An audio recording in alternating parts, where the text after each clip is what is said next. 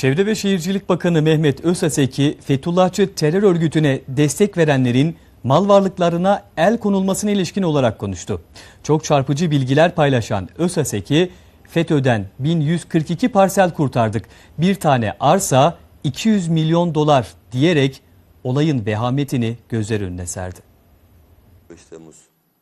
Çevre ve Şehircilik Bakanı Mehmet Özaseki, Develi'de sivil toplum kuruluşlarının temsilcileriyle bir araya geldi.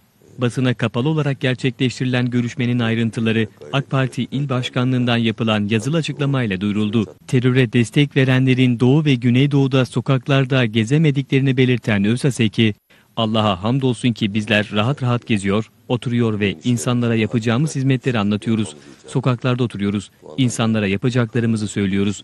Onlar da bize dönüp diyorlar ki Allah rızası için bir daha buradan gitmeyin. Şu güvenliği devam ettirin ama yaralarımız var. Lütfen bunları da sarın.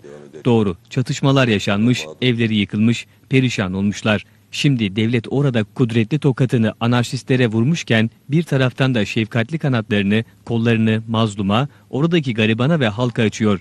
Onların planları tamamen alt üst oldu. Plan bozuldu ama yeni bir plan var. Bitmiyor bu planlar. Bize düşen emin olun ki klasik bir laf ama bir olmak, diri olmak, sonra da kendi değerlerimiz altında toplanmak dedi. En çarpıcı bilgi ise Fethullahçı terör örgütüne yönelik olarak gerçekleştirilen operasyonlar konusunda verdi. ÖSASEK'i kanun hükmünde kararname ile FETÖ'ye destek verenlerin mal varlıklarına el konulduğunu anımsatan ÖSASEK'i, tapu kadastrodaki arkadaşlarıma dedim ki bütün tapucu arkadaşları arayın, emir verin. Bunlar tapuları bir yerde toplamış olabilirler. Gayri kanuni olabilir. Bu emri ben veriyorum bakan olarak. Huylandıkları kimsenin tapularını devretmesinler. Polise haber versinler. Savcıya haber versinler. işlem yapsınlar. Birkaç gündür yapılan işlemlerde kaç tane böyle mal kurtardınız diye sordum. 1142 parsel kurtardık. Daha o yayınlanan ve bilinenlerin dışında bir tane arsa 200 milyon dolar şeklinde konuştu.